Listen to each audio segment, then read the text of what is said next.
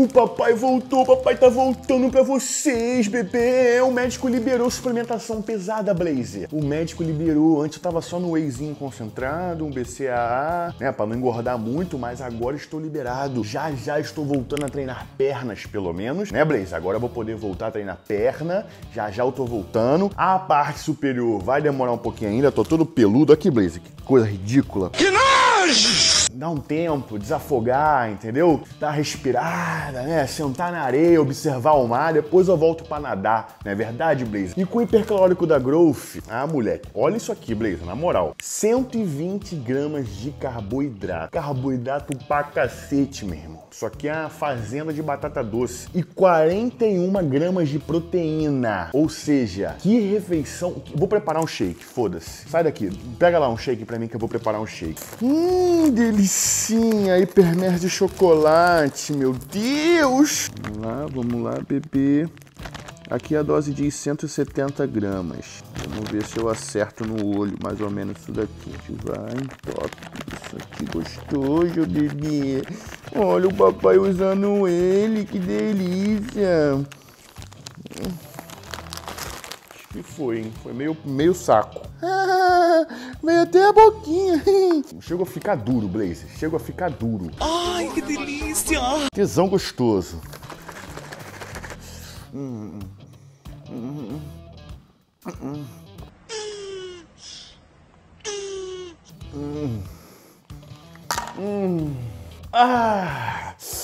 Me sinto nutrido, Blaze. Que delícia, o bagulho cai como se fosse numa churrascaria, sabe? Rodízio de carne. Pum, preenche todos os espaços. Parece que o estômago já sente a, a potência dos aminoácidos. Ah, delícia. Posso ir pro Pergunte ao Monstro agora?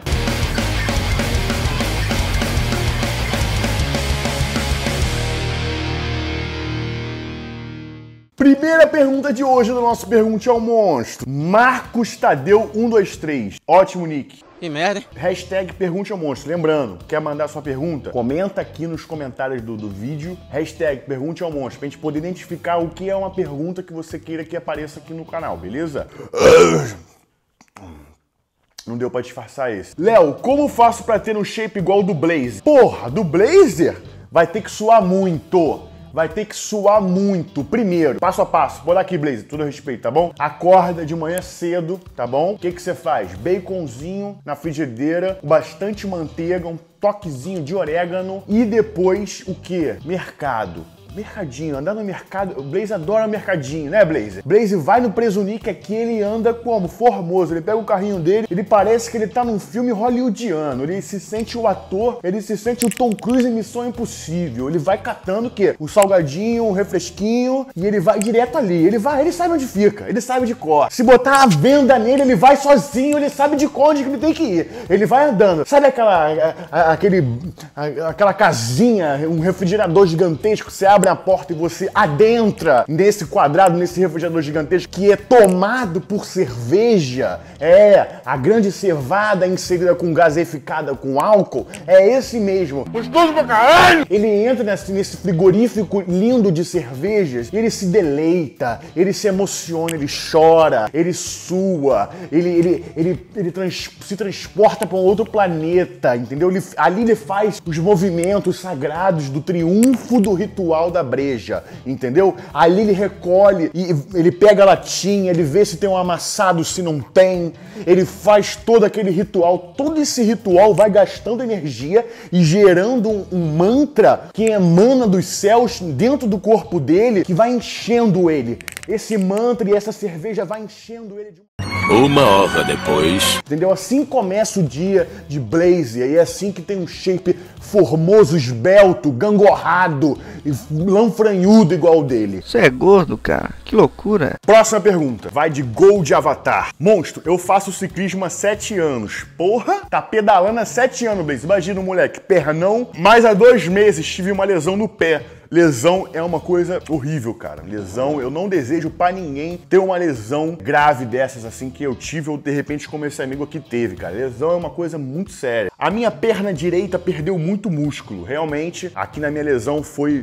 o músculo do, do peitoral esquerdo. Então esse lado aqui, o peitoral, deltoides, ombro, bíceps, tríceps, antebraço, esse lado, até a, a asa, o latíssimo, dorsal, esse lado todo ficou meio defasado. Ele tá menor, mais churreado que esse, porque esse ficou imóvel durante muito tempo. Então o, o músculo sem estímulo, ele vai zerando mesmo, é diferente, entendeu? E é diferente legal falar também, esse lance aqui que ele tá falando, por quê? Porque as pessoas falam assim, caraca, o Léo parou de treinar, ficou murcho, miúdo, fino pra cacete, perdeu muito peso, tá vendo? Olha lá, bomba é foda, perde tudo, não sei o que, tá, tá, tá. Eu não parei de treinar, eu não simplesmente estava treinando e falei, não, vou dar uma pausa de treino, parei de treinar. Não, eu tive uma, uma lesão, onde eu tive que fazer uma cirurgia, ficar no antibiótico na veia dias, me cortei, perdi fluido, tive o processo de inflamação, regeneração, cicatrização, imobilizado. Quando você se imobiliza, eu faço um desafio você, você que fala mal da rapaziada que murcha rápido, você acha que você é top, né?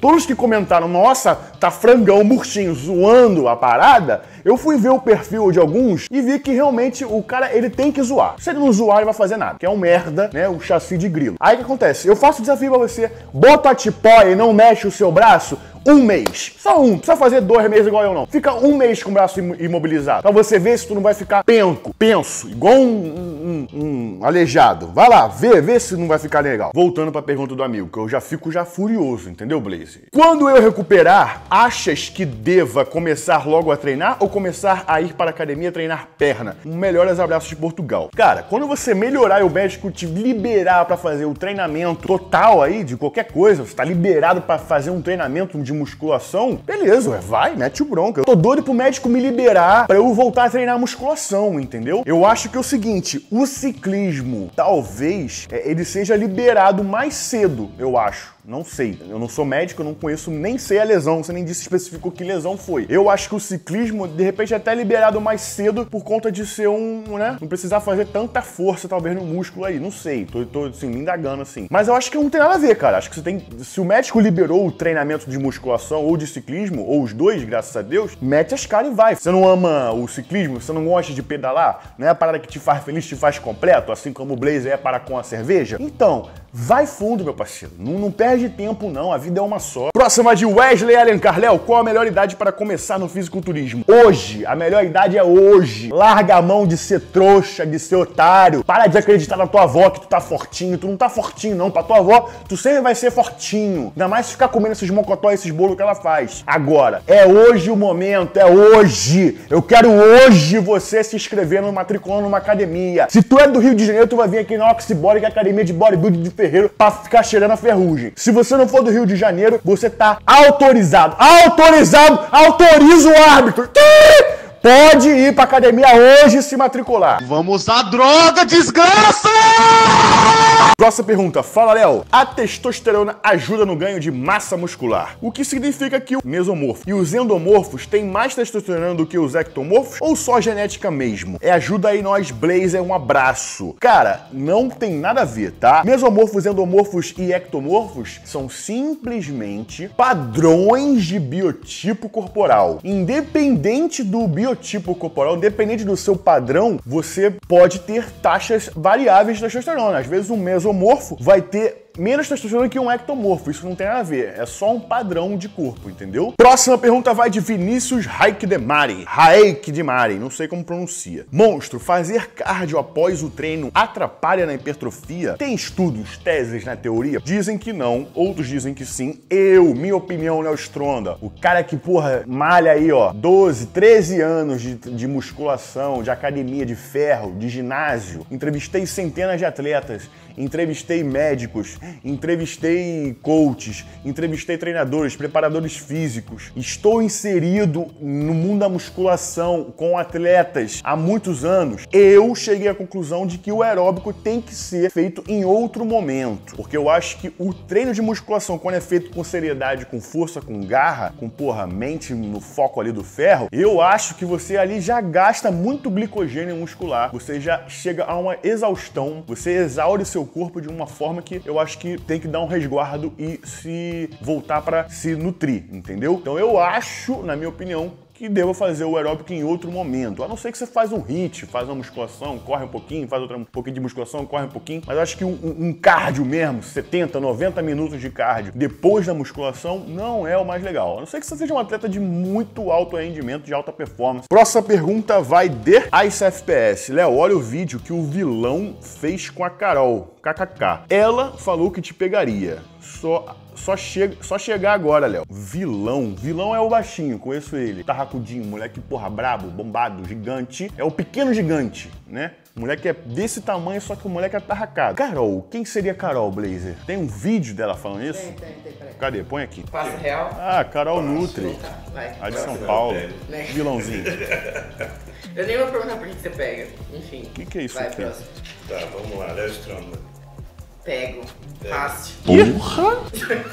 que isso, cara? Não! Mano, não coloca isso no vídeo. Foi muito Não, natural. coloca isso mesmo não, Carol. Que isso? Isso é incesto, Blaze. Minha irmã gêmea. Minha cara, meu irmão. Minha irmã gêmea, cri- nas- criado junto. Nascido do mesmo... Dividimos barriga. Que isso? Não pode. Não pode, não pode. Que isso, Blaze? Pô, como é que você faz uma coisa... Como é que ela fala uma coisa dessa em rede nacional? Que isso, Carolzinha? Peraí, a gente vai ter que conversar sobre isso.